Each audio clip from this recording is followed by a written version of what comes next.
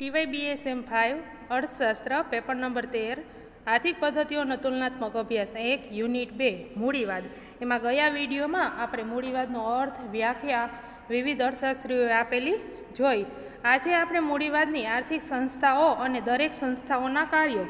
એમાં ત્રણ સંસ્થાઓ આવશે. આર્થિક માનવી તરીકેની સંસ્થા અને એના કાર્યો, ખાનગી મિલકતની સંસ્થાઓ, એના કાર્યો, ગેરફાયદા, ફાયદાઓ અને વારસા પ્રથા. આ ત્રણ સંસ્થાઓનો આપણે અભ્યાસ કરીશું. આજે આપણે આર્થિક માનવી તરીકે આર્થિક સંસ્થાઓ તરીકેના કાર્યો જોશી. એમાં આપણે જોઈએ આર્થિક માનવી. તો આર્થિક માનવીનો અર્થ.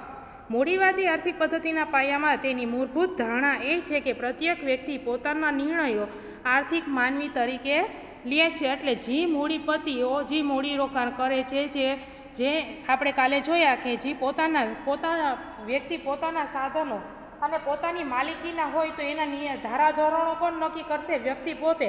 તેમાં રાજ્ય કે સરકાર કોઈ હસ્તક્ષેપ કરશે નહીં. એટલે આર્થિક માનવી તરીકે એના નિર્ણયો કોણ લેશે? તો પોતે. એટલે પ્રત્યેક વ્યક્તિ પોતાના નિર્ણયો આર્થિક માનવી તરીકે લે છે. આ ધારણા પાછળ એ વિચાર પડેલો છે કે માનવી હંમેશા ઓછામાં ઓછી કિંમતે વધુમાં વધુ સંતોષ મળે એ રીતે વર્તન વર્તે છે. એટલે શું પોતાના નફામાં વધારો કરવા માટે વધુને વધુ પ્રયત્નો કરે છે. એટલે વધુને વધુ કિંમત સંતોષવા માટે શું કરશે? ઓછામાં ઓછી કિંમતે વધુને વધુ સંતોષ મેળવશે. એટલે કિંમત અને સંતોષ બંને શારીરિક કે માનસિક ખ્યાલ હોઈ શકે. સતત કામ કરતા શરીરના અવયવો થાકી જાય અને માનસિક કંટાળો ઉદ્ભવે, તે જ પરિણામે આહાર લેવાની ભૌતિક સંતોષ મળે છે. એટલે માનસિક કંટારો ઉદ્ભવે. તે જ પ્રમાણે પર્યાપ્ત આહાર લેવાની ભૌતિક સંતોષ મળે છે. તો કોઈક વખત ભૌતિક સંતોષ ઉપર માનસિક સંતોષ પણ મળે છે. દાખલા તરીકે પોતાના પાડોશ કરતાં પોતાને વધુ સારો રેડિયો મળવાથી એવો સંતોષ મળે છે. એટલે શું કે આપણે એકબીજાની દેખાદેખીમાં એમ કે શું છે પા, દાખલા તરીકે જોયું તો પોતાના પાડોશી કરતાં પોતાને વધુ સારો રેડિયો મળવાથી એને કેવો સંતોષ મળે છે? વધુ સંતોષ. એટલે વધુને વધુ સંતોષ મેળવવા માટે માનવી કઈ રીતે વર્તે છે કે ઓછી કિંમતે વધુ સંતોષ કેમ પ્રાપ્ત થાય એમ આર્થિક માનવી તરીકે એનું વર્તન કરે છે.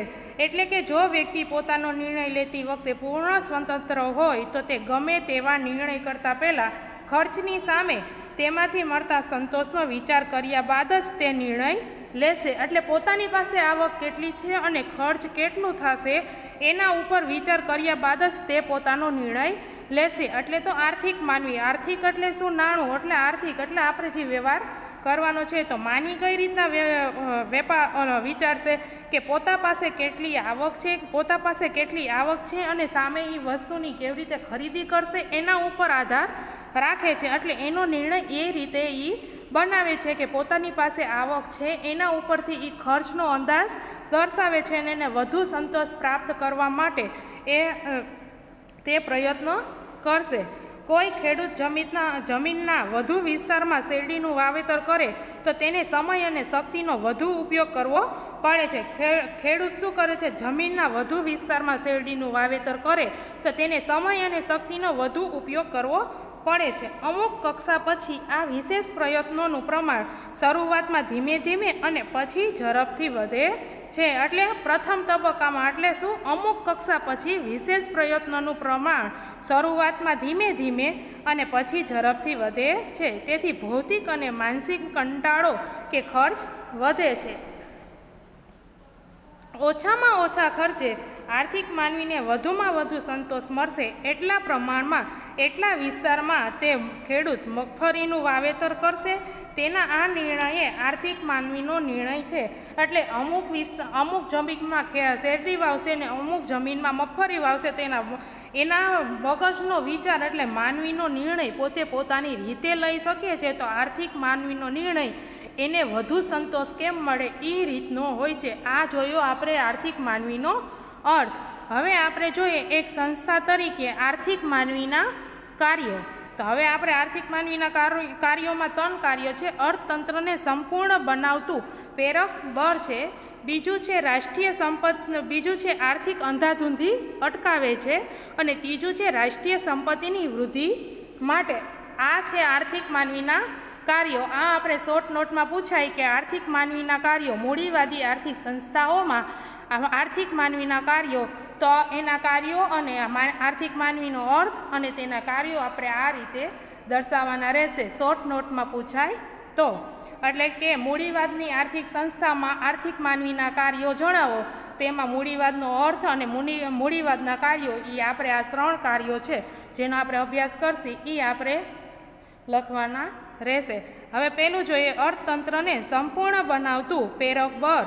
મૂડીવાદી અર્થવ્યવસ્થામાં વ્યક્તિ આર્થિક માનવી તરીકેનો જે નિર્ણયો લે છે તે અર્થતંત્રને સંપૂર્ણ બનાવવાનું પરિબળ પૂરું પાડે છે. પ્રત્યેક વેપારી એકમ એક જ પ્રકારની ગણતરીને લક્ષમાં લઈ પોતાના નિર્ણયો લે છે અને તે દ્વારા અનેક વ્યક્તિઓના વિવિધ પ્રયાસોને એક વ્યવસ્થિત વેપારી પ્રક્રિયા બનાવે છે.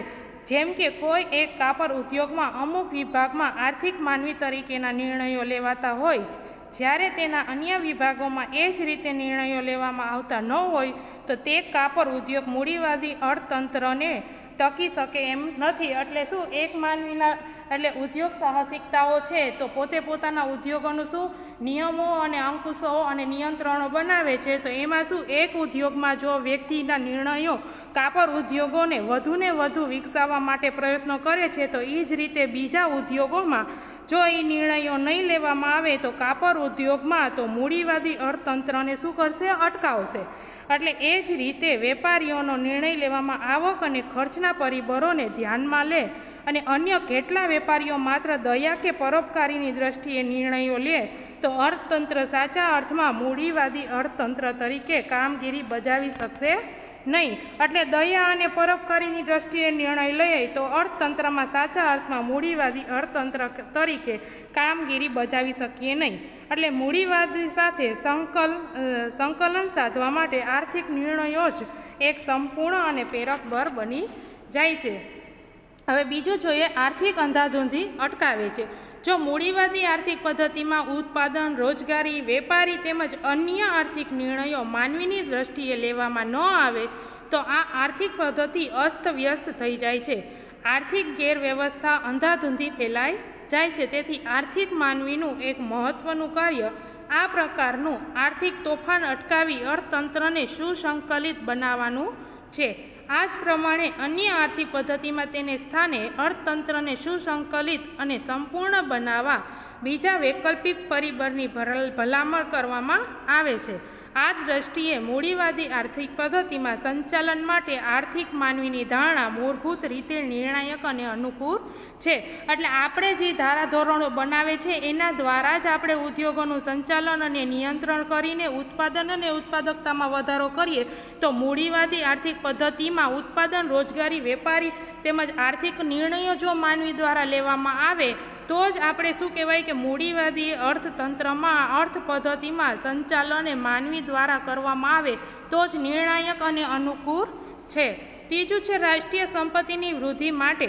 હવે મૂડીવાદી આર્થિક પદ્ધતિમાં આર્થિક માનવીની સંસ્થાનું એ પણ એક અગત્યનું કાર્ય છે કે તેનાથી અર્થતંત્રમાં કરવામાં આવનારા ભાવિ ખર્ચના અંદાજો, ભોગ અને સંતોષનું પ્રમાણ જાણી શકાય છે. એટલું જ નહીં પણ દેશની કુલ સંપત્તિમાં વધારો કરવા માટે માનવીનું આ પ્રકારનું આર્થિક વર્તન જરૂરી છે.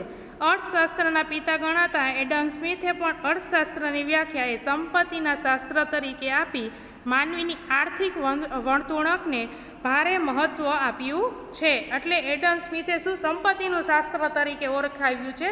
તો માનવીની આર્થિક પ્રવૃત્તિ માટે શું જવાબદાર છે? આર્થિક પદ્ધતિઓ જવાબદાર છે. એમ કહે છે કે આર્થિક માનવીની સંસ્થાનું એક પણ અગત્યનું કાર્ય હોય તો એ માનવીના જ નિયમો દ્વારા રાષ્ટ્રીય સંપત્તિમાં વધારો કરવાનું કાર્ય, એટલે કુલ સંપત્તિમાં વધારો કરવા માટે માનવીનું જ આર્થિક વર્તન જરૂરી છે એટલે મૂડીવાદી આર્થિક પદ્ધતિએ સમૃદ્ધ અને સંપૂર્ણ બનાવવા તેમજ તેના વિવિધ ઉદ્યોગ વિવિધ વિભાગોને જોડીને રાષ્ટ્રને આર્થિક આંધીમાંથી બચાવવા માટે વ્યક્તિઓ કે પેઢીઓ કે કોર્પોરેશનો દ્વારા આર્થિક માનવી તરીકેના જે નિર્ણયો લે છે તે અર્થતંત્ર માટે ખૂબ જ પુરવાર થાય છે એટલે મૂડીવાદી આર્થિક પદ્ધતિને સમૃદ્ધ અને સંપૂર્ણ બનાવવા માટે જે વિવિધ વિભાગો જે રાષ્ટ્રની આર્થિક આંધીમાંથી બચાવવા માટે વ્યક્તિ, પેઢીઓ કે કોર્પોરેશનો કોર્પોરેશનો આર્થિક માનવી તરીકેના જે ધારાધોરણો કે નિયમો બનાવે છે, એ અર્થતંત્ર માટે ખૂબ જ ઉપયોગી પુરવાર થાય છે. આ આપણે જોયા આર્થિક માનવી, આર્થિક માનવીના કાર્યો. હવે નેક્સ્ટ વિડીયોમાં આપણે ખાનગી સંસ્થાઓના કાર્યો Josie. Thank you.